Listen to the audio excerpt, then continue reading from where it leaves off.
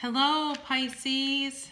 Welcome to Higher Source Tarot for your January 2020 reading for all Pisces, Sun, Moon, Rising, and Venus. Thank you to all of you who have subscribed to my channel. It's so much fun for me to see new subscribers. I love your comments. I appreciate the likes and the sharing of my video. If you haven't subscribed yet, please do so and hit that bell notification and you'll be notified when I have new videos coming up. So I recently posted a video uh, about um, your 2020 tarot predictions for the year of 2020. So if you want to see the year ahead, um, now's the time to do it. And I also have a, a couple weeks ago posted a video of the entire Rider-Waite deck um, in depth, all 78 cards explained. So if you're interested in that, that would also be something that might help you as you watch tarot and learn to interpret it and on your own and apply it to your life. So how in the world are you? I hope that you are off to a good start here and that you took the time to set your intentions for the year ahead. Know that you can have, be, or do anything. You can have, be, or do anything. You just have to be clear about what it is that you want, quiet your mind, and know that the universe wants to deliver things to you. So you just be very clear in your intentions. And, you know, we try to eliminate all that noisy stuff we can have going on in our heads because that will slow the universe down from bringing it to you. So here we go for Pisces, um, Sun, Moon, Rising, and Venus for January 2020 for Pisces. Now, I have to tell you, I sometimes have find, found when I've done a lot of videos together that I am here and there calling a card the wrong card, but I'm reading it correctly.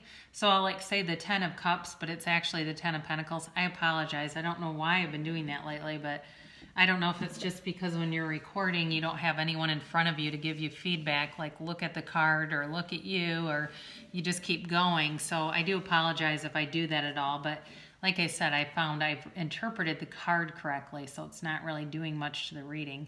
Um, so we're going to get the ball rolling here with an Abraham Hicks card. These are Ask and It Is Given cards created by Esther and Jerry Hicks using the teachings of Abraham, which are the teachings of the law of attraction. So people who talk about manifesting and then they kind of poo-poo that, I don't know what they think they're using to manifest. I mean, there's many universal laws and principles, yes, but the the main law supporting or um, guiding manifestation is the law of attraction. So, and there's much research in terms of measuring thoughts and neurons and knowing that neurons fire together and then they wire together, so like attracts like. So as you're thinking and feeling a certain vibration, more will be attracted to you to match that vibration. So I will love where I am right now. There is nothing that you cannot be, do, or have, and we want to assist you in achieving that. But we love where you are right now, even if you do not, because we understand how joyful the journey to where you want to go will be. So the joy is in the journey, Pisces. And I know sometimes that's annoying, but the joy is in the journey. So your current situation is the Seven of Swords. Well, I'm glad that's the current situation and not the outcome. Then you've got the Seven of um, Wands here. You've got the Fool, and this is, I love this because I just, I haven't seen the Fool come out in a long time. And I just love to see that, especially in that position, because that's your goal or your destiny. Behind you in the distant past is the Two of Cups. You've got the Queen of Pentacles as a more recent past. Then you have the Ace of Pentacles. So nice big offer coming in. The Ten of Pentacles is you. Um, the Moon is the people around you, but this is also Pisces energy. Then you've got the Ten of Cups. You got the Ten of Pentacles and the Ten of Cups. And you have the Hierophant in the outcome position. So very interesting reading for you guys.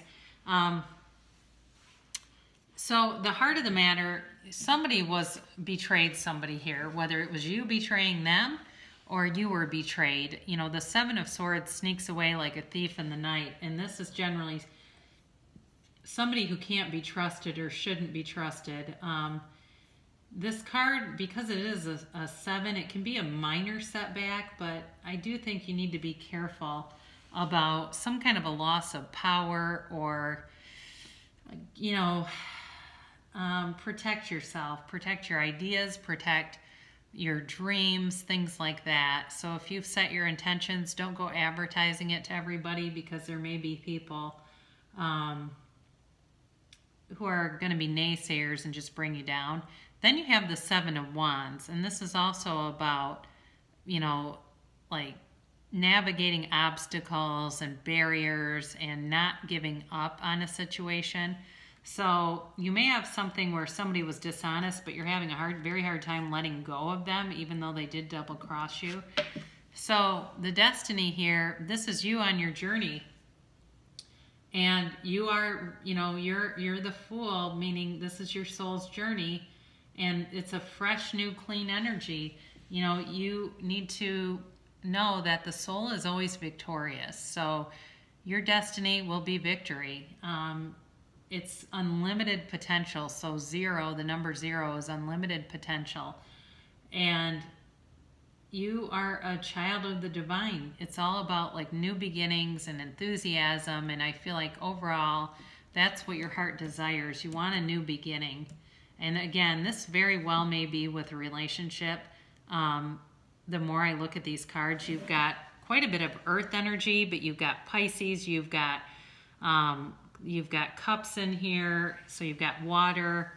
Um, you do have, I think I said earth, you've got just the one air and some fire, but I definitely am starting to see this more and more um, as some kind of a relationship that took a bit of a hit here. So in the distant past, I think you were quite close, like you felt like each other, you were best friends. You know, I really do. I think you two said, I, I've got your back, you're my best friend, and somebody here did something that was not principled.